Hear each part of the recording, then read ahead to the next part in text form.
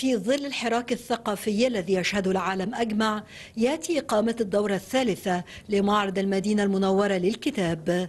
المعرض الذي يشارك فيه 800 دار نشر موزعين على 200 جناح يتم من خلاله تقديم أحدث الإصدارات الأدبية والعلمية. المعرض جيد بداية مبشرة باليومين الأول والثاني وهلأ الثالث نحن بلشنا.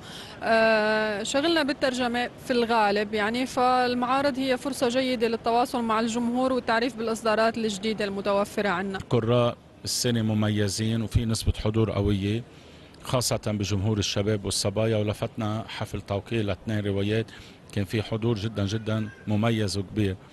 وبعتقد المدينة المنورة الكتاب حيصبح destination السنوي لمعرض كتاب. إصداراتنا إحنا عندنا كتب إدارة أعمال و business وتطوير ذات آه، وعلم نفس. بنشارك في المعرض للسنه الثالثه بنحاول نعمل عملية التبادل الثقافي ما بيننا وما بين السعودية.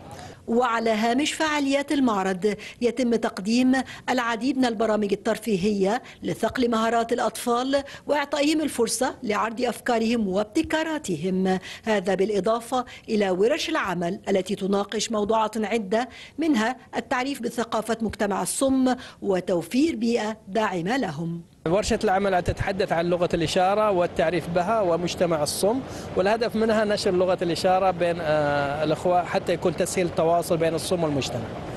آه، إحنا في آه، جمعية مترجمين لغة الإشارة نحاول ننشر لغة الإشارة. الهدف منها اللي هو زيادة الوعي عن هذه الفئة ومجتمعهم وثقافتهم. كما حرص معرض المدينة المنورة للكتاب ومن خلال المركز المغفور له الملك عبد الله بن عبد العزيز على تقديم نبذة لزوار المعرض عن حياة الملك عبد الله وأهم المحطات في حياته. ولعل من أجمل الهدايا التي تقدم لزوار معرض المدينة المنورة للكتاب في دورته الثالثة المصحف الشريف والذي تم ترجمته لأكثر من سبعين لغة ويقدم لزوار المعرض بالمجان خلال جناح وزارة الشؤون الإسلامية والدعوة والإرشاد للمملكة العربية السعودية. من المدينة المنورة لمياء موافي النيل للأخبار.